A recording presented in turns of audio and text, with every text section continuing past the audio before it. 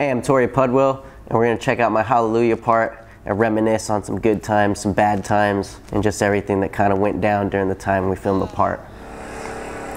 Every day I'm hustling, every day I'm hustling. It's the intro Every day I'm hustling. Celebration. Every day I'm hustling. after you get a clip, celebrating the back tail front shove. I think we were in Denver. Had a couple beers on the sesh, you know, so I was feeling pretty good after I landed it. This is the first time I did that trick on a rail. I think a lot of uh, a lot of tricks are like first time. That trick was just super random. Wasn't even trying to film a trick, and it made the intro clip, which was cool because I don't do any manuals. John Holland had sort of the full control on the video part. It actually wasn't my first song choice, but just like the vibe wasn't right, so John picked this song and it was awesome. It's it's the Morning Benders. I met one of the dudes in the band, and uh, he he told me he was like really stoked that we used the song, and then we kind of been homies ever since. Trippy shot, weird haircut.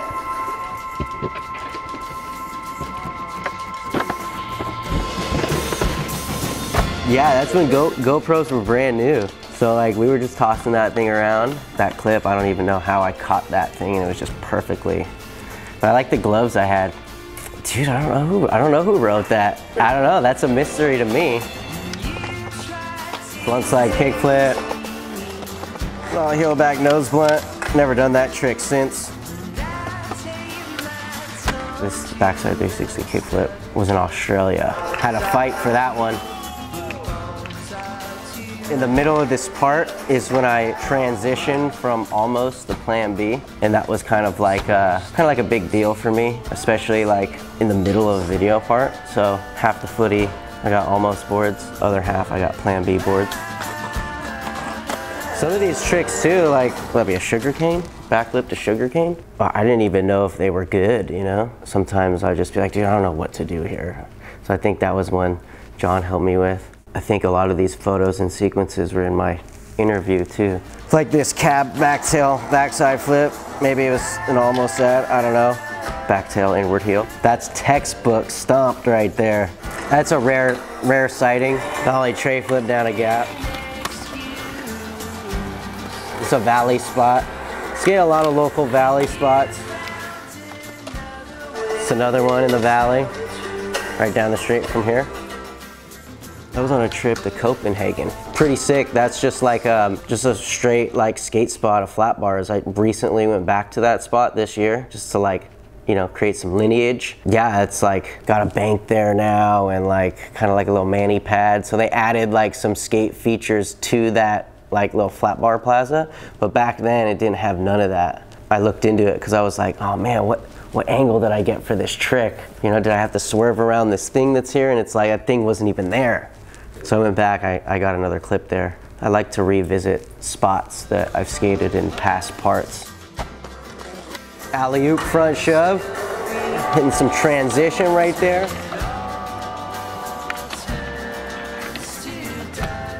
I, I want to say that was the first trick I filmed for the video part was that frontside flip. And that was like the first time that me and John ever went out skating. I remember I was filming something else. I was double dipping that day with Colin Kennedy.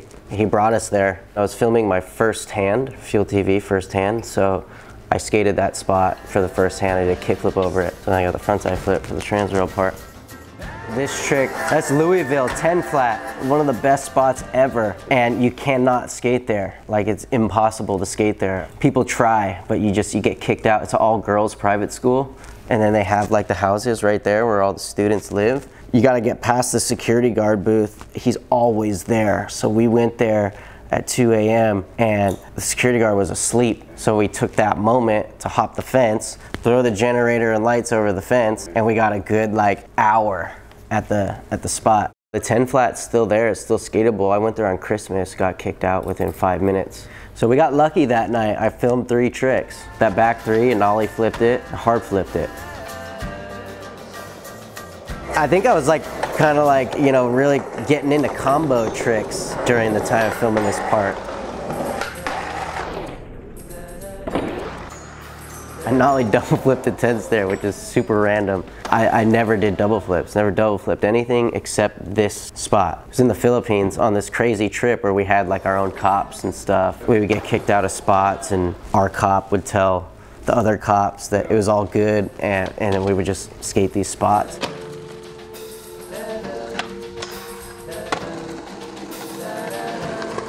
That kickflip back tail.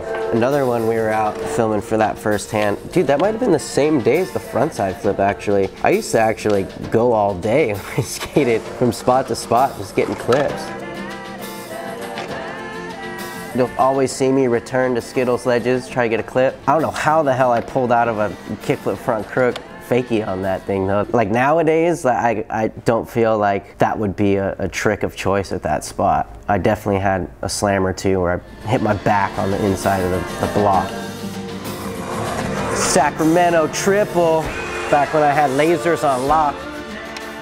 Dude, it's, it's like all these spots, all these spots in this part, I like went to like all my favorite spots. Like to this day, I enjoy skating these same spots. Dude, another one of my favorite spots, dude, the Vernon bar, backsmith, kickflip, made it all the way into the curb cut. This was uh, one of my first pro shoe ads, backlip, kickflip to backlip on the curve ledge. I had three ads for my first pro shoe, back to back to back, so that was one of them. Nollie flip into the, the gap, into the bank. Dude, that spot is just so scary to skate because there's no runway for it. Sierra Fellers actually did the same trick. I think we did it around the same time. I don't know whose came out first though.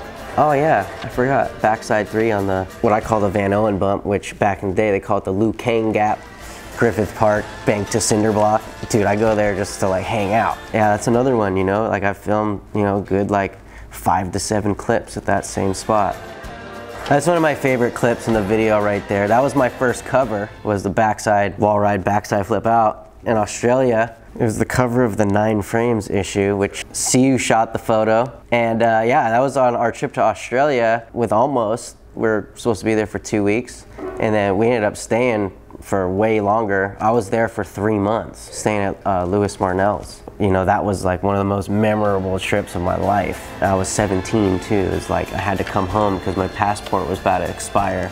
This was the second cover I had, the back 50 on the tall curve ledge in Denver. The try that I did it, the cops were rolling up. I seen the, the, the red and blues pulling up and I was like, it was kind of scary because it was so tall, you know? You had to like really stand up on that thing. The, the cops, they didn't even pull in or anything. They just kept, they just kept driving. It was like in my head, it was like, we're getting kicked out next try. But like, the aftermath was like, where'd those cops go? Like, where the cops at? Close, close call, but it was also a false alarm. Cammy shot the photo, dude. I'd say this is damn near like some of the best years of my skating that, you know, uh, when I was on the come up, flying off this ledge like with a helicopter flip. That flat bar was like, at the time, that was like one of the longest things ever. It's a car dealership. There's always cars parked on the pads. The cars were gone, like, dude, let's go to this spot. That backsmith would have been way easier, but since I was going in that direction, it was uphill. So that's why I'm kind of like trying to really push my way through it. Got really slow at the end because I'm grinding uphill with shorter runway.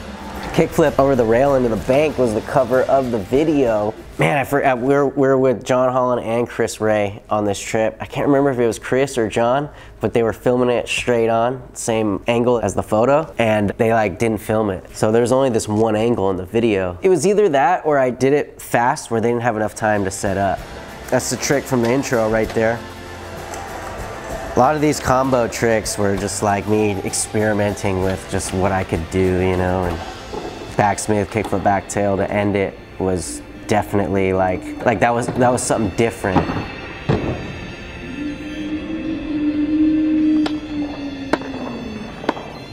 I remember doing the laser flip and then it was like, should we light it up? I want to try backside 360 kick. I just wanted to go for it. So I was just like ruthlessly trying to get gnarly. Dude, when I rolled away from that, I was just so happy because it was like so cold. My eyes were watering. I couldn't see anything. Had my beanie in my face and I landed it and rode away. I was just like, oh my God, like no way, dude. Carved in the opposite way that I probably even should have. I could, I, I could have gone from the other side, but since I've skated this triple set multiple times, I like always have to repeat the same thing I did prior. I'm definitely really proud of, you know, everything that, that came out of filming this part. It was like when I got the phone call to film for a Transworld part, I was seriously, it, it was the biggest honor to me. Transworld videos just being like the top of the tier. You know what I mean? Yeah, dude, every time I watch the video, I get to like kind of relive all these memories we just talked about. It's not just another part, it's in the top three of my favorite parts that I've filmed.